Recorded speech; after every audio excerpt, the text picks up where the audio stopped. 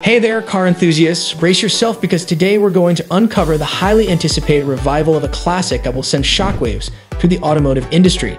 Toyota has indeed rekindled our love for nostalgia by hinting at a comeback that took 60 long years to materialize. Today, we are talking about the return of the iconic Toyota Stout, but this time with a twist. Rumor has it, this beast might be returning as an entry-level hybrid electric model. Let's jump into this electrifying piece of news. Last September, Toyota rocked the boat by officially registering the Stout name, hinting at the future resurgence of this iconic pickup truck.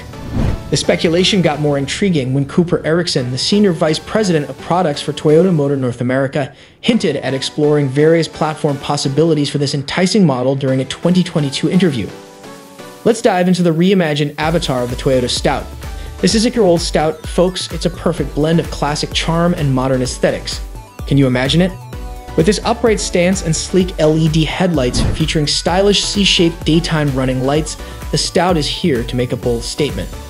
Picture flush door handles, a rugged front bumper, deep wheel arches, and stylish dual-tone alloy wheels complemented by black cladding, creating a robust and contemporary silhouette. Trust me, this truck's design is nothing short of head-turning. Moving to the inside, brace yourself for a tech-savvy treat. Rumor has it that the new Stout will sport a dual cab configuration, blending space and versatility.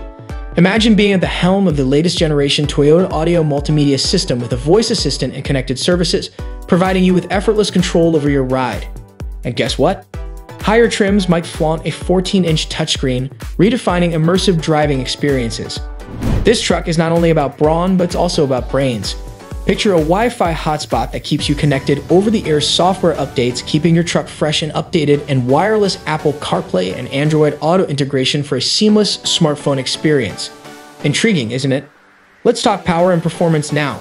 There are whispers that the Stout might be built on the TNGA-K platform, offering a low center of gravity and exceptional body rigidity, promising stability and agile handling that every driver dreams of.